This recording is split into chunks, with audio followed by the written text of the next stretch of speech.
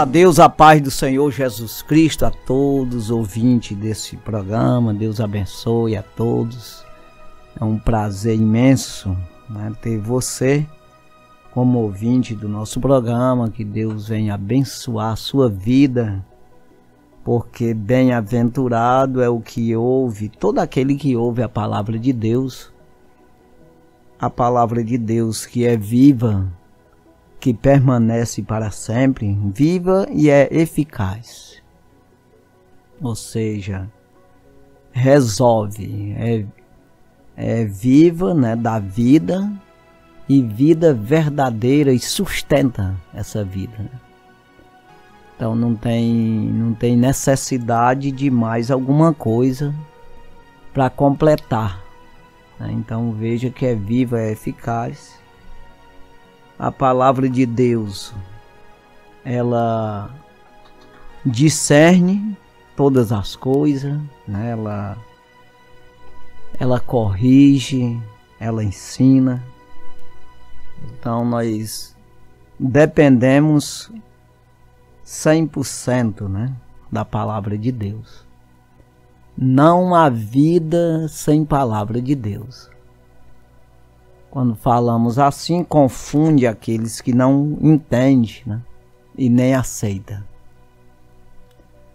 Porque quando falamos de vida verdadeira, é vida eterna, né? Então a vida após a morte. Porque se essa vida valesse alguma coisa, a gente não morria. Então entenda se tem validade é como qualquer uma coisa. A Bíblia compara nós com uma ave, um pé de capim, uma eva, né, um, um, uma fruteira qualquer, porque tem fim. Então, até o próprio Jesus diz que é, fez uma ilustração falando da, da do lírio dos vales, né? uma, uma flor que dá na, na beira dos lagos, é que dá no campo, né? que nem Salomão ele disse, com toda a sua glória, porque foi um homem que foi o mais rico, mais sabido, né, teve poderes né, na terra que o próprio Deus deu. Ele disse: Nem Salomão, com toda a sua glória, se vestiu como um deles, como um lírio dos vales. Uma flor, né? Então veja que Deus ele compara nós assim, no sentido humano, o homem é como a Eva. E, e a glória do homem ou a, ou a, a beleza do homem, sentido homem-mulher, é como a flor da Eva. Cai, é, seca a Eva e cai a flor. Então é passageiro, é uma coisa que você vê uma flor, é bonita ali, mas e, mas de repente ela seca, cai, desaparece, vai ter que vir outra no lugar dela, né? Então não, não tem como a gente se vai descer e achar que, que é alguma coisa. No sentido natural, nós não somos nada, né? Precisamos reconhecer isso. Agora, quando nós temos a palavra de Deus, aí sim. Aí a palavra de Deus nos torna eterno nos dá a vida eterna. Aí é uma glória, aí é glória. Esperamos na glória do grande Deus. Nós nos gloriamos na glória de Deus.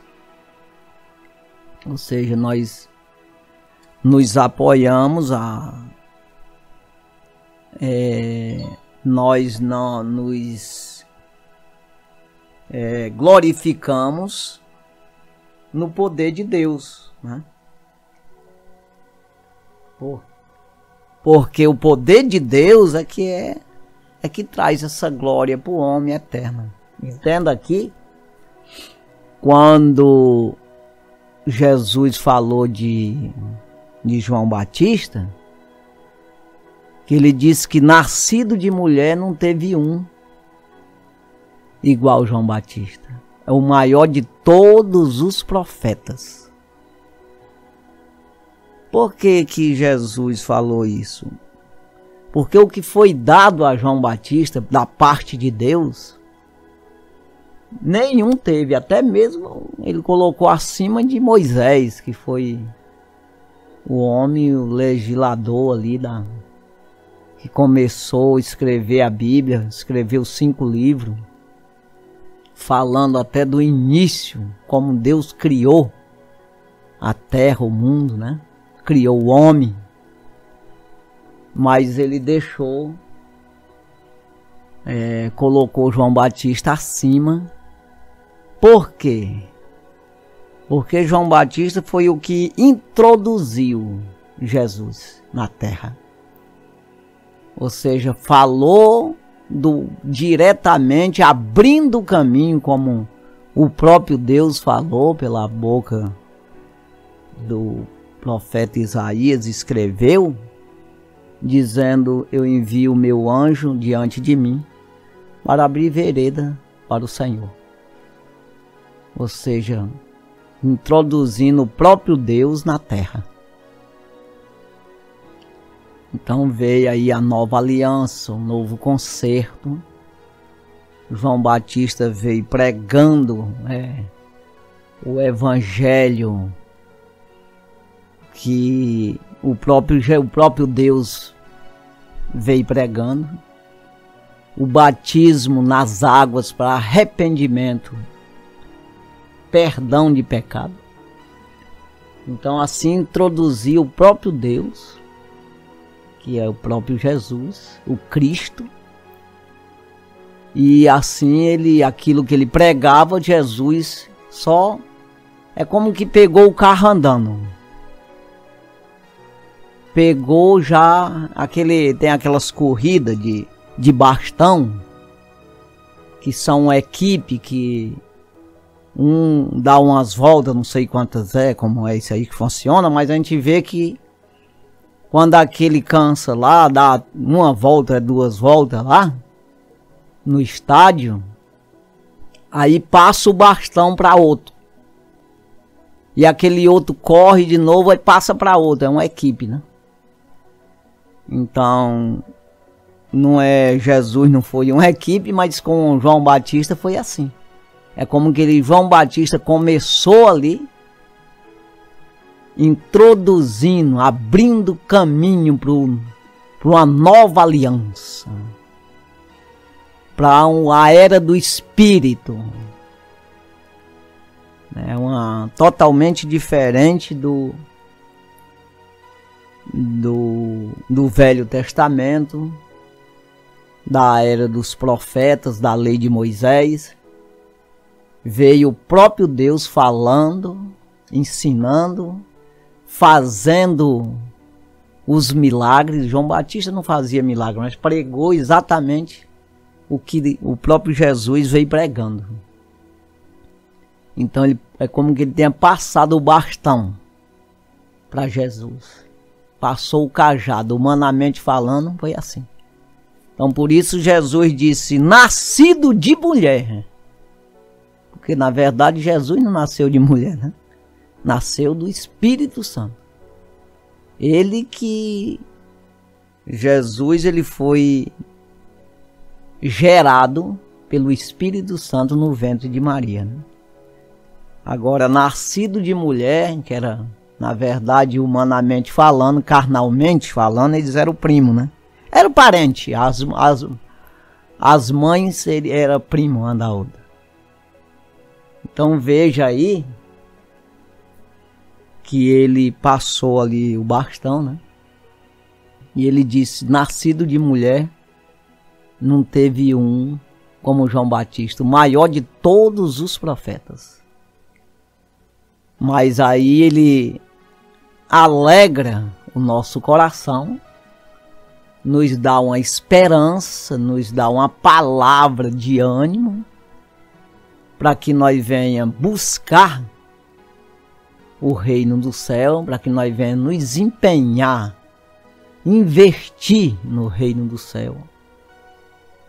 Ele disse que não teve nenhum igual João Batista, mas o menor no reino do céu é maior do que ele. Então, quando ele diz isso, é porque o homem sem Deus não é nada. Mas o homem com Deus, ele já é maior do que qualquer pessoa da terra, que já pisou e que vai pisar na terra. O menor significa aquele que conseguisse salvar. Quando nós vamos olhar assim, menor, maior, essa questão aí, aí Paulo escreve em 1 Coríntios capítulo 3, aí fala ali, versículo 16, 17, por ali assim, ele fala a respeito do tribunal de Cristo. Ou seja, vai ter ali um tribunal, tem ali uma a distribuição de galardão, de prêmio, premiação. E cada um vai receber, lá no versículo 8 de 1 Coríntios capítulo 3, ele fala que cada um vai receber segundo o seu trabalho. Aí ele vai falando ali, chega lá nos versículos, eu vou até ler aqui para a gente não ficar falando uma coisa sem sem mostrar verdadeiramente como é que é. Então veja aqui que Paulo fala aqui, 1 Coríntios capítulo 3, versículo 8. Ora, o que planta é e o que rega é um, ou são um mas cada um receberá o seu galardão segundo o seu trabalho. O que é planta e regra? Eu prego o evangelho para uma pessoa, uma pessoa ouve, às vezes até confessa o evangelho, aceita Jesus. Aí vem outro e prega também para essa pessoa. Ou mesmo ele não aceitou, mas eu preguei. Aí vem outro, prega também. Então isso chama regar. Eu plantei a semente, aí outro vem e dá mais uma pitadinha ali, coloca uma água, um, mais um adubozinho. E até essa semente brotar e dar fruto. Né? Então eu planto, Apolo rega, quem dá o crescimento é o Senhor. Ele diz, é, mas Deus dá o crescimento, versículo 7, né? pelo que nem o que planta, nem o que rega, é, ou seja, nem o que planta é alguma coisa, nem o que rega, mas Deus que dá o crescimento. Aí o versículo 7 diz isso. Né? Então, aí no 6 é que diz: Eu plantei, Apolo regou, mas Deus deu o crescimento. Então, na verdade, quem faz tudo é Deus. Eu estou apenas, nós fazemos apenas aquilo que Deus quer que nós façamos.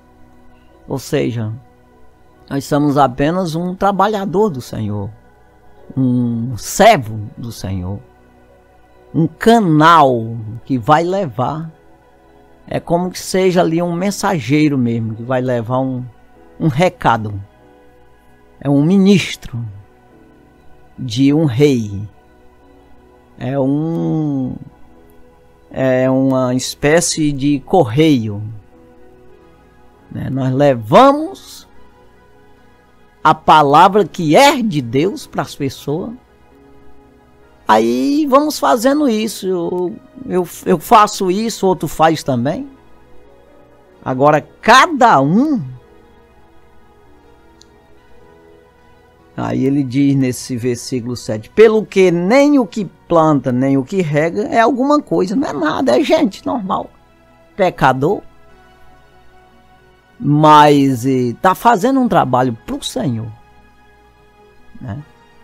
Aí quem dá o crescimento é alguma coisa, nem o que rega, mas quem dá o crescimento é o Senhor.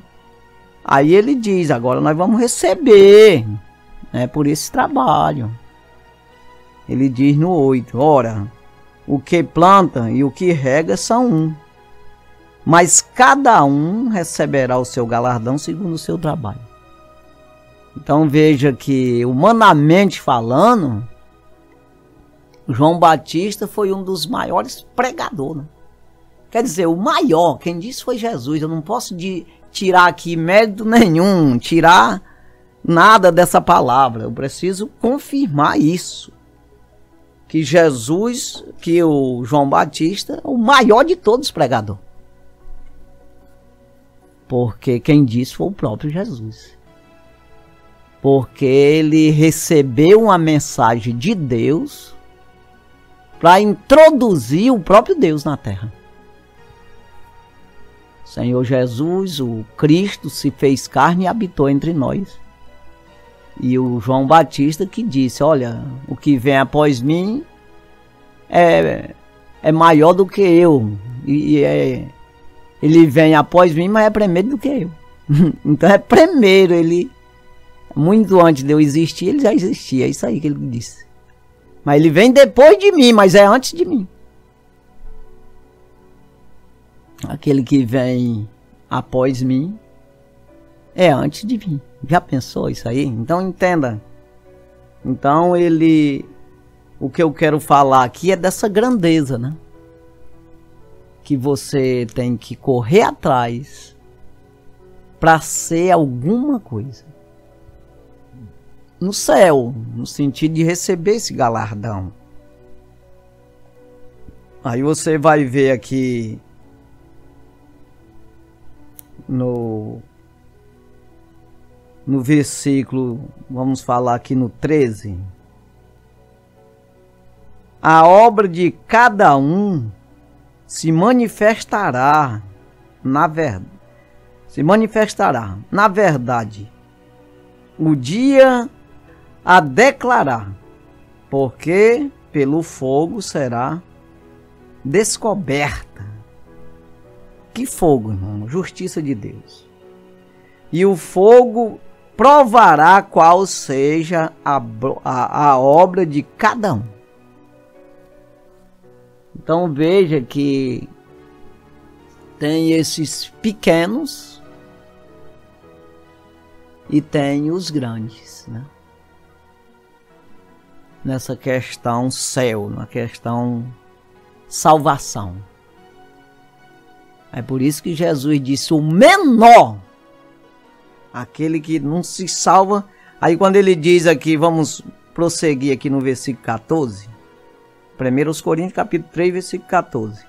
Se a obra de. É, se a obra que alguém edificou nessa parte permanecer, esse receberá galardão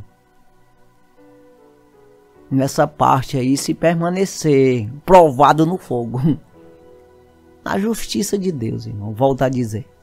O fogo de Deus, o fogo consumidor, o fogo que purifica, que limpa, é comparado como o fogo do orive, né? Aquele que, que purifica o ouro.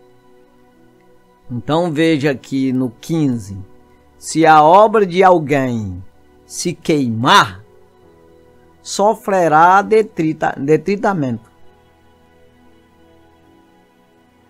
Mas o tal será salvo, todavia, como pelo fogo. Ou seja, tem gente que não vai não vai ter obra. Ele só fez o suficiente para a salvação. Então esse é que dá de incluir na palavra que Jesus falou. O menor no reino do céu é maior do que ele. Maior do que João Batista no sentido carne no sentido homem. O maior homem da terra foi João Batista. Ele disse até aquela ocasião e, e com certeza depois não teve maior. Eu digo isso aí com certeza. Que as palavras de João Batista estavam ali introduzindo as últimas o, o evangelho para fechar o cano bíblico é, selar as palavras que salvam o homem na face da terra, que ensinam o homem o caminho da salvação. Então, João Batista ali falou e Jesus veio completando, ali citando a mesmas, mesmos ensinamentos. Então, fechou ali com os apóstolos falando nas cartas, tudo o que Jesus falou, que João Batista falou, que Jesus falou. Então fechou o cano bíblico, fechou. Nisso aí tá, está a porta do céu. A entrada do homem no céu. A chave para você entrar no céu. É exatamente nisso aí. É por isso que o maior de todos os pregadores, o maior de todos os homens? Então, aí ele diz: o menor no reino do céu é maior do que ele. Está dizendo que no sentido homem, né? Porque na verdade ele, espiritualmente falando, a obra que ele fez é grande, né? No céu ele vai ser maior do que esse pequenininho aqui que não que as obras se queimou tudo. Porque Paulo escreve aqui falando é, eu vou até prosseguir tudo aqui o versículo 8 que eu já falei vou logo prosseguir essa leitura aqui. No versículo 8 ora o que planta e o que rega são um mas cada um receberá o seu galardão segundo o seu trabalho. Versículo 9 porque nós mesmo ou seja nós somos cooperadores de Deus, vós sois lavoura de Deus e edifício de Deus. Ou seja, vocês são um roçado que a gente planta, a semente, ou uma casa que nós construímos, é, um edifício, né? que na verdade é o templo do Espírito Santo que é construído pela palavra de Deus. Esse templo ele se faz pela palavra. Os materiais que constroem esse templo só se encontram na palavra de Deus, que é viva, que permanece para sempre. Ela é eficaz, é suficiente. Não tem como você achar a palavra de homem e colocar no meio desse edifício que vai cair tudo, né? Não, então os materiais necessários estão na palavra. Então é isso que, que Paulo diz aí que a gente é lavoura, que recebe a semente para nascer, né? crescer e dar fruto. E ao mesmo tempo é um edifício, é uma casa aonde vai vai acomodar, vai fazer morada o próprio Deus. É o Espírito Santo de Deus na nossa vida. Então aí ele diz no 10: Segundo a, a graça de Deus que me foi dada, ou seja, aquilo que Deus me deu da parte dele para me entender e compreender e ensinar aos outros. Aí ele prossegue: Pus eu, ou seja, eu coloquei, né? pus eu, como sábio arquiteto, o fundamento, e outro edifica sobre ele. Mas veja cada um como edifica sobre ele.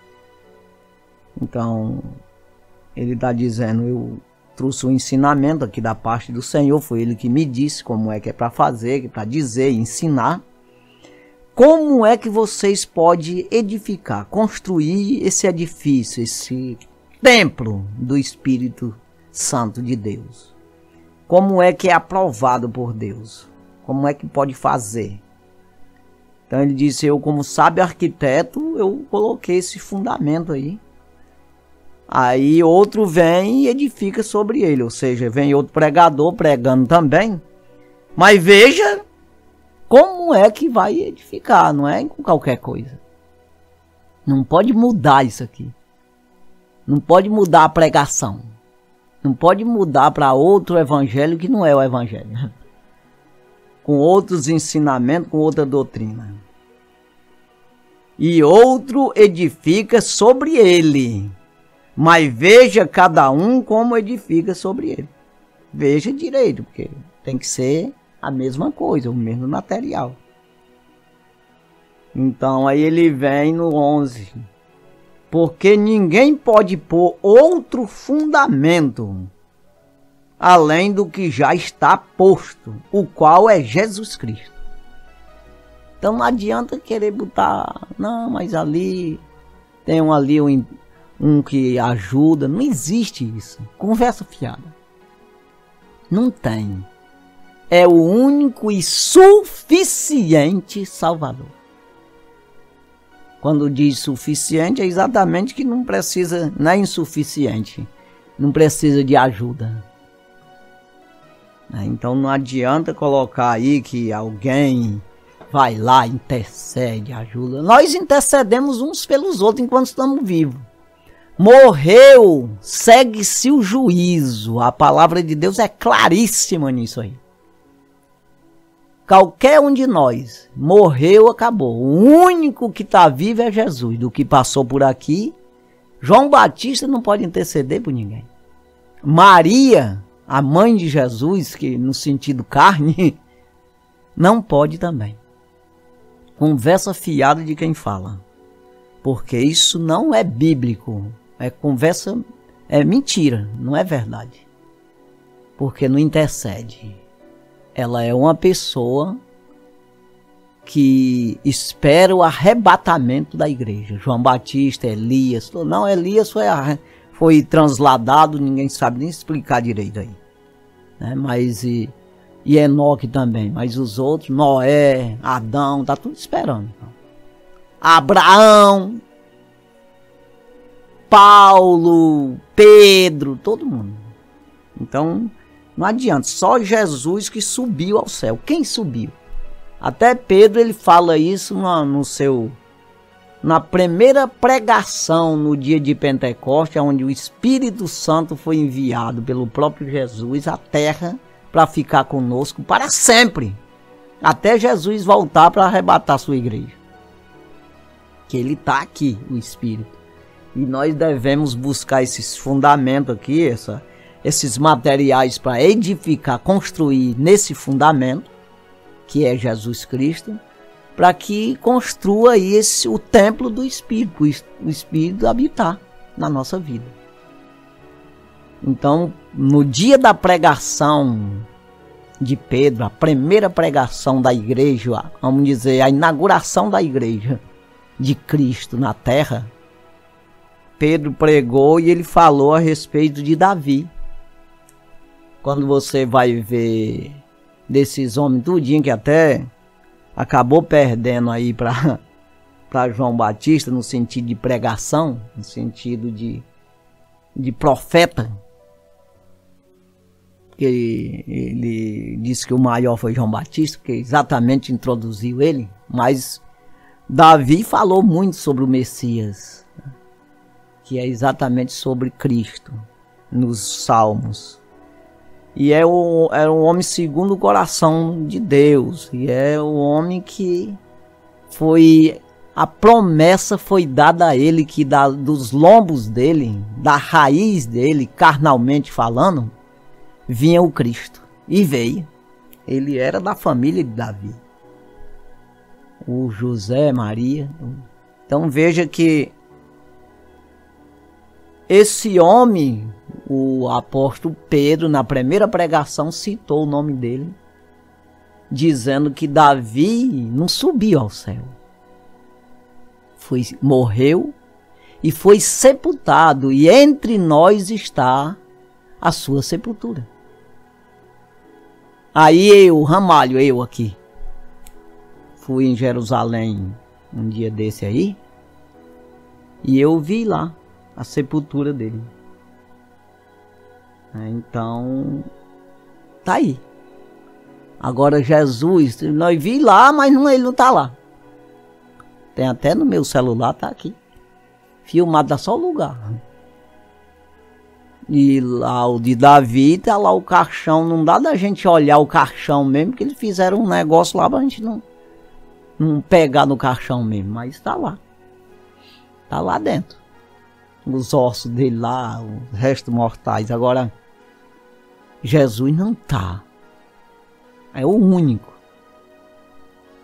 Então veja que não, você não pode, de maneira nenhuma, é colocar outro fundamento além do que já está posto, o qual é Jesus Cristo, versículo 11. E o 12 diz: e se alguém sobre este fundamento formar um edifício de ouro, o que, que quer dizer? Não, foi uma pessoa que pregou o evangelho genuíno, se esforçou, fez a obra de Deus, lá o julgamento é com Deus, é claro, no sentido de galardão de tudo que está certo, o que foi muito, o que foi pouco. Mas nós devemos nos esforçar em fazer mais o quanto puder. O que vier à mão, isso fazei, né, como diz Salomão. Porque para a sepultura, para onde tu vai, tu não pode fazer mais nada. Então veja aqui. E se alguém sobre este fundamento, o que é fundamento, irmão? Um alicerce, uma base que é construído uma coisa em cima. É isso aí. Porque pode alguém estar tá meio confundido aí sem entender direito. Se alguém sobre este fundamento formar ou construir, né? Um edifício de ouro, quer dizer, uma coisa mesmo, uma obra bem uma obra grande, né? Uma obra Aí ele prossegue. Ouro, né? Prata, pedras preciosas, são tudo são coisas boas. Madeira. Agora vai para ruim, que não é, acaba sendo no final é ruim é não fazer nada, né? Mas aqui feno, que é capim. E palha. Feno, palha. Ou seja, a coisa foi diminuindo aqui. Ouro, prata, pedras preciosas, madeira. Já é uma coisa que queima, né? Feno, capim e palha, será que queima? Então veja que é uma obra relaxada, uma obra ali que não foi muito aprovado por Deus. De maneira que nem tem. Né? Aí, aí por isso que ele, ele fala aqui nesse versículo 13, né? A obra de cada um se manifestará na verdade. Na verdade, na palavra de Deus.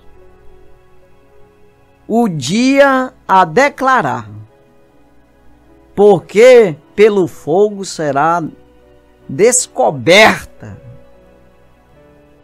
e o fogo provará qual, qual seja a boa a, a obra de cada um o fogo vai descobrir. Né? Porque vai queimar. Fogo em ouro, quanto mais dá fogo, mais ele, mais ele brilha. Prata também. Pedras preciosas, com certeza também aguentam um pouco de fogo. Não sei, não sei entender bem isso aqui, mas com certeza.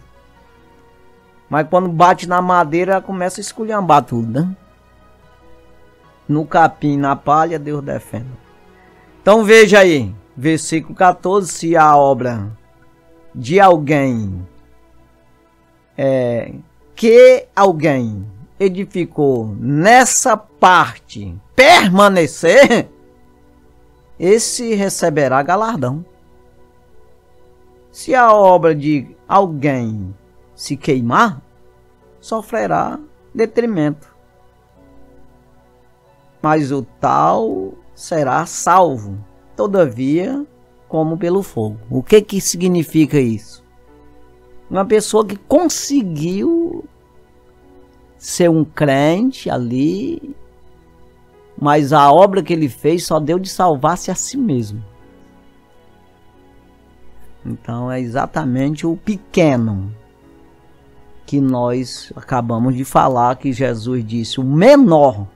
Então é porque tem os grandes e tem os menores no reino do céu. Menor no reino do céu é maior do que o maior homem da terra, que com poucos tempos vai morrer, comendo feijão e arroz. Né? Então nós não temos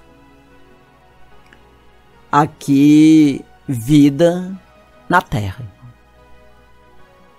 Não temos não, precisamos buscar a futura. Como diz em Hebreus,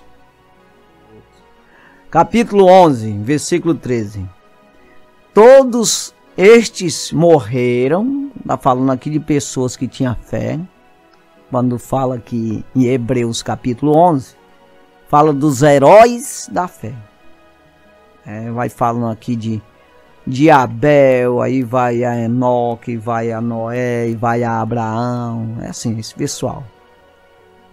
E todos estes morreram na fé, sem terem recebido a, as promessas, mas vendo-as de longe e crendo nelas, e abraçando-as, confessaram que eram estrangeiros e peregrinos na terra.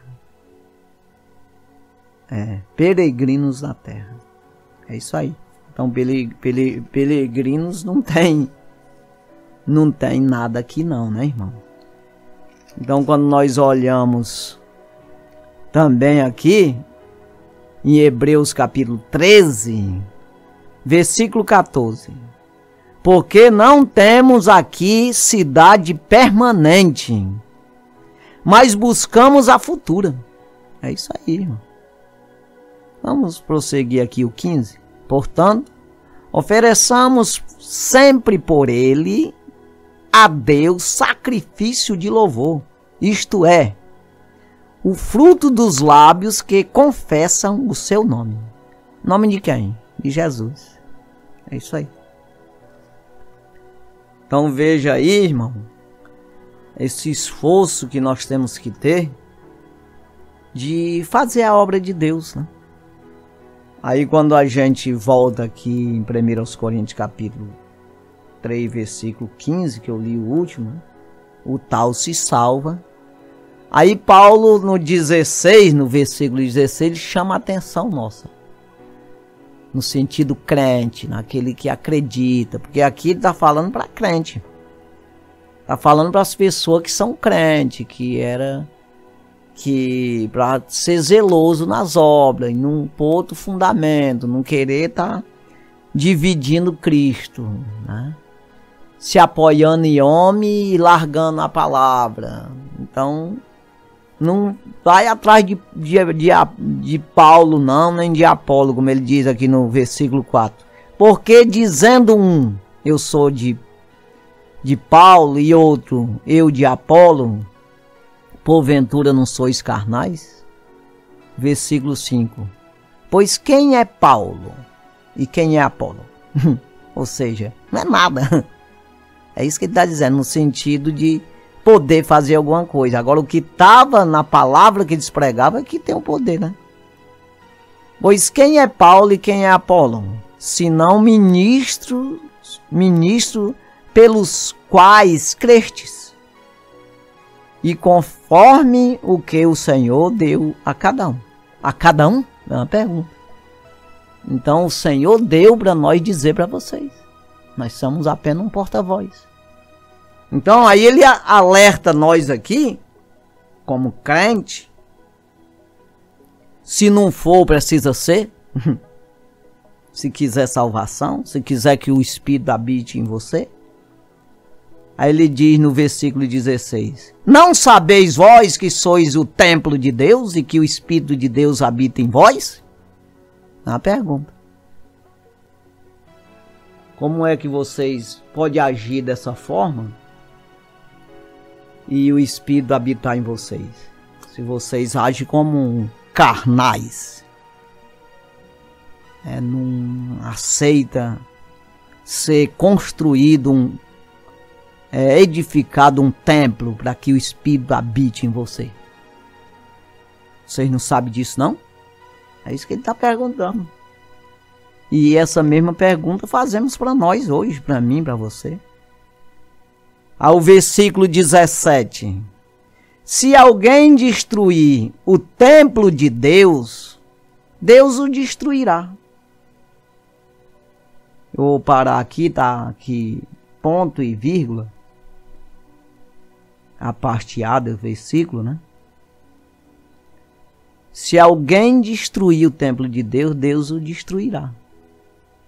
Ou seja, se alguém pecar, fazer a coisa errada, sair de cima do alicerce do, desse fundamento, Deus sai dele. É isso aí. Ou seja, Deus se afasta dele, ele passa a ser uma um cadáver ambulante no sentido natural, no sentido no sentido espiritual ele é um cadáver. No sentido natural ele está vivo, mas para Deus está morto. É apenas uma criatura. Então é aquela coisa que se a, a pessoa conhece a Deus, o Espírito habita em ti, aí tu se desvia dos caminhos do Senhor, irmão. Então Deus sai de ti, então destruiu. É isso aí que está dizendo aqui. Se alguém destruir o templo de Deus, Deus o destruirá. Aí ele prossegue aqui. Porque o templo de Deus que sois, que sois vós é santo. Então, vocês são a casa de Deus separada do pecado. Deus habita em vocês porque vocês são santos, estão separados não vive misturado com o pecador, com aquele que comete pecado. Não, que, que vive no pecado, é isso aí. Cometer pecado é uma coisa. E viver no pecado é outra coisa. Então é, é isso aí. Então o templo de Deus que sois vós é santo, vocês não sabem disso? Tem que continuar sendo santo, separado. Se não, se não fizer isso, não vai dar certo. Aí ele prossegue aqui no versículo 18. Ele diz assim: Ninguém se engane a si mesmo. É uma coisa muito séria. Você enganar você mesmo, tapear você mesmo. Você às vezes está entendendo a situação, mas você não tenta se enganar. Existiu uma época no tempo de Isaías, do profeta Isaías, que o povo de Deus, o povo de Israel, eles viviam assim. Conhecia, sabia que estava errado, mas ele nem queria que alguém dissesse que eles estavam eles queria viver no engano. Ele disse: não diz palavra verdadeira para nós. Nós queremos palavras que nos engane, que venham nos, nos tapear. Palavras que seja mentira, que não seja verdadeira. Nós não queremos ouvir a verdade. Ou houve um tempo dessa forma aí. Então a pior coisa que tem é você enganar a si mesmo. Tapar o sol com a peneira, é isso aí. Ninguém se engane a si mesmo. Se alguém dentre vós se tem por sábio neste mundo, faça-se loucos ou louco para ser sábio. Então faça-se doido mesmo para que seja sábio, para que se salve. Porque quem não quer Jesus, ele não entende o que é Jesus. Quem não quer a palavra de Deus, ele não entende o valor que tem a palavra de Deus. Então ele chama quem tem a palavra, quem é o templo, quem é separado, quem é santo, que é a palavra separado. Né? Quem é santo chama de doido. Porque vive uma vida na terra, mas é uma vida celestial, uma vida separada para Deus, uma vida, um cidadão do reino, é um cidadão que tem a herança divina, a herança do, é, do reino do céu. Então ele está sendo conduzido pelo Espírito de Deus. E não por vaidade humana, por conversa fiada de homem. Então por isso é chamado de louco. Então por isso que Paulo está dizendo. Ninguém se engane a si mesmo.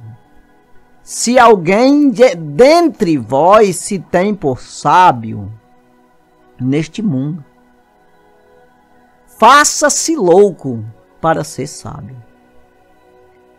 Então, quem se diz ser sabidão, esse é que está doido. Quem acha que escapa,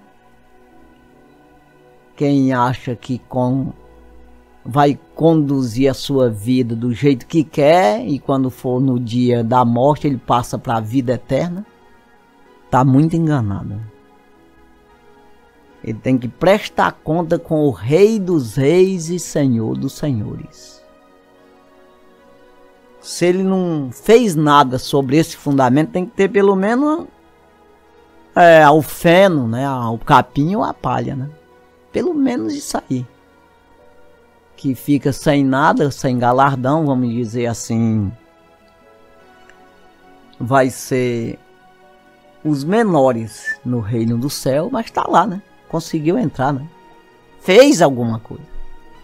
Agora quem não faz, quem não acredita, será condenado. Não morará no reino do céu. Não herdará. Não tem herança. Herdade.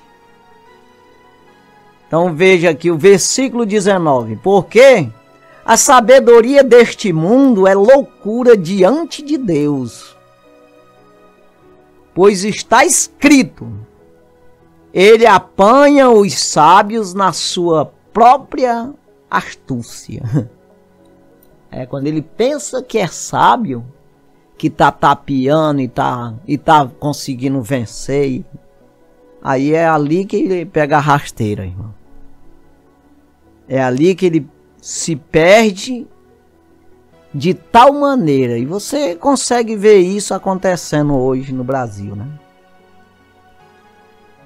Que ele pensa que vai vencer, tá pensando que vai dar tudo certo, fazendo a coisa errada. Não existe como.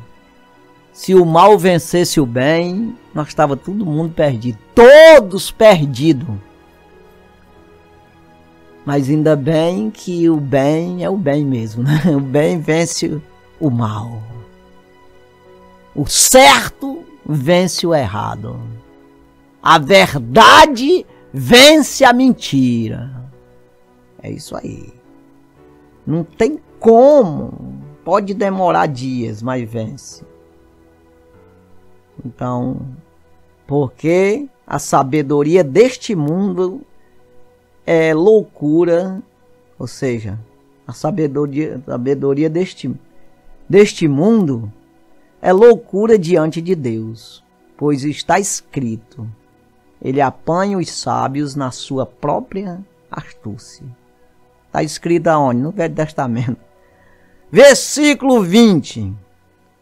E outra vez, o Senhor conhece os pensamento dos sábios, que são vãs. Não serve de nada. Pensamento de homem não serve de nada. Agora, quando você entrega a tua mente para o Senhor Jesus, você tem a mente de Cristo. Ele domina a tua mente. aí você consegue entender as coisas certas. Não é vã o que tu, o que tu pensa, o que tu projeta. Porque vem da parte daquele que pode tudo. E outra vez, o Senhor conhece os pensamentos dos sábios, que são vãs. Vãos, né? são vãos, não, tem, não, não, não produz nada. Versículo 21. Portanto, ninguém se glorie nos homens, porque todos é, é porque tudo é vosso. Ninguém se glorie nos homens. Versículo 22.